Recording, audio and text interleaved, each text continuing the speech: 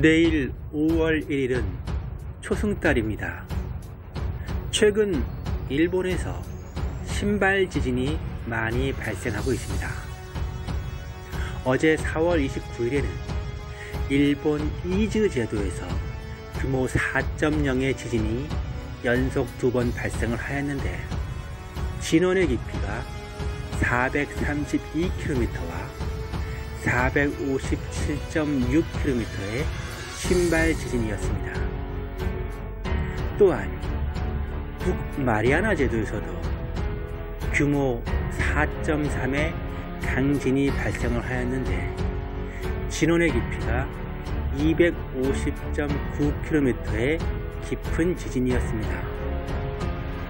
4월 24일에도 남태평양 바누아투에서 규모 4.4의 강진이 발생을 하였는데 역시 진원의 깊이가 234.5km이며 바누아투 근처의 피지에서도 4월 29일에 규모 4.6의 강진이 발생을 하였는데 진원의 깊이가 무려 600.9km였으며 4월 26일에는 피지에서 규모 4.4의 강진이 발생하였는데 진원의 깊이가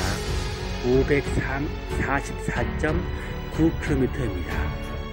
이러한 상황에서 오늘 4월 30일 일본 아오모리현 동쪽 앞바다에서 규모 3.6의 진원의 깊이가 70km인 지진이 발생을 하였고 어제 4월 29일에도 아오모리현 시모키타 반도에서 규모 2.3의 지진이 발생을 하였습니다.